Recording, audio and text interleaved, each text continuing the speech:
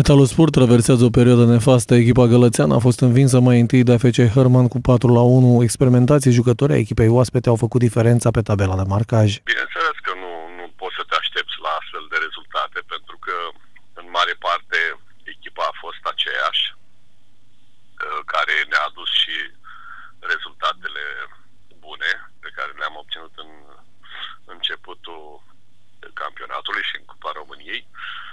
Dar ăsta uh, este fotbalul.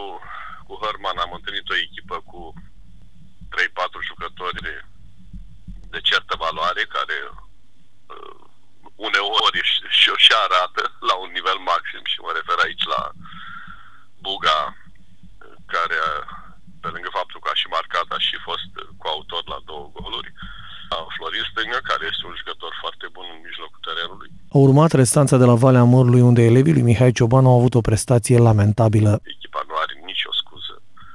Am și discutat cu ei în sensul ăsta ieri după meci. Am stat jumătate de oră la stadion cu ei de vorbă și pe lângă faptul că hai să spunem că au avut uh, așa o